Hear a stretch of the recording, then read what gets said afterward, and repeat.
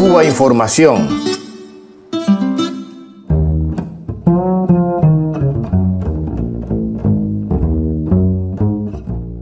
Hablemos de prioridades.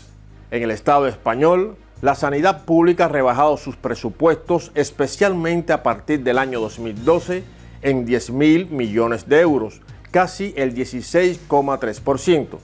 Descenso del número de camas de hospital, copago farmacéutico, exclusión de 400 medicamentos de la subvención pública, retirada de tarjetas sanitarias a inmigrantes, son algunas de las medidas de recorte sanitario. Uno de sus indicadores es el aumento de las listas de espera. Si en 2009 quienes esperaban más de seis meses para ser operados era el 5%, en 2013 ya suponían el 13,7%. El recorte en personal ha sido también importante.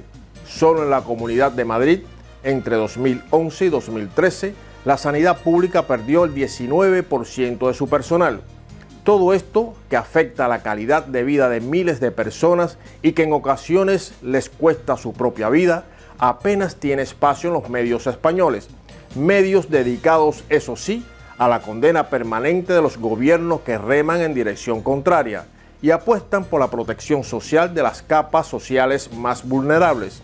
Es el caso de los gobiernos demonizados como el de Cuba, Venezuela, Ecuador, Argentina o Bolivia, y ahora en Europa el de Grecia.